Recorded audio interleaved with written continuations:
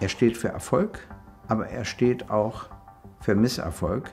Beides hat sich in seinem Leben gemischt. Er war ganz oben und fiel tief.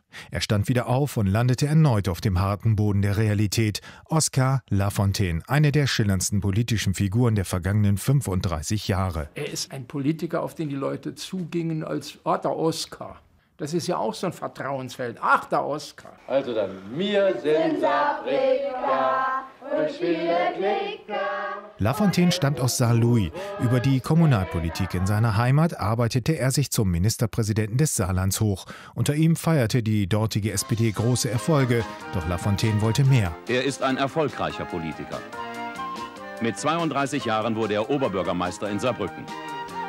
Hier hat er gezeigt, dass er anpacken kann und Probleme löst. Wählen Sie Oskar Lafontaine. Seine Kanzlerkandidatur 1990 scheiterte beinahe. Eine verwirrte Frau verübte ein Attentat auf ihn, das er knapp überlebte.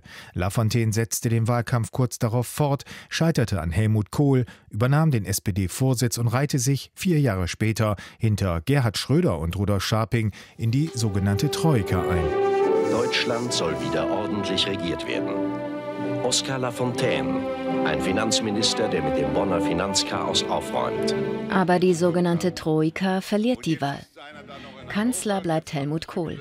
Die SPD erntet Spott. Sagt, wo die Troikaner sind, wo sind sie geblieben? Lafontaines Karriere wirkt wie ein ewig währendes Hin und Her. Ein getriebener, rhetorisches Naturtalent, brillanter Vordenker, Genussmensch.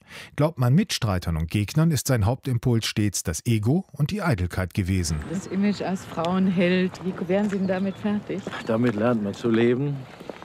Und äh, manchmal ist es auch etwas lästig. Denn wenn jetzt ein Boulevardblatt in, Nähe, in der Nähe wäre, dann würden wieder Fotos geschossen, hieß Lafontaines Neue. Mit einem Paukenschlag verabschiedete sich Lafontaine als Finanzminister aus der Regierung Schröder. Er legte seine Ämter nieder, trat kurz darauf aus der SPD aus, gründete mit Gregor Gysi die Linkspartei und strebte erneut an die Spitze. Sie sind die Gewinner der Wahl.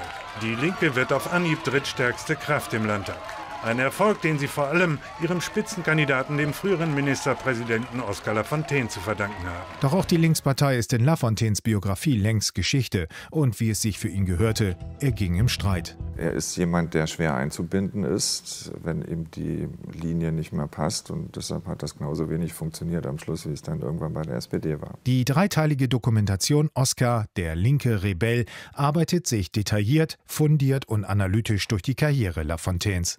Neben ihm kommen ehemalige Weggefährten, Gegner und Freunde zu Wort. Doch eine schlüssige Erklärung, warum dieses wohl größte politische Talent seiner Generation letztlich so wenig aus seinen Möglichkeiten gemacht hat, liefern auch Sie nur ansatzweise. Aber ich schließe ab mit einem saarländischen Glück auf.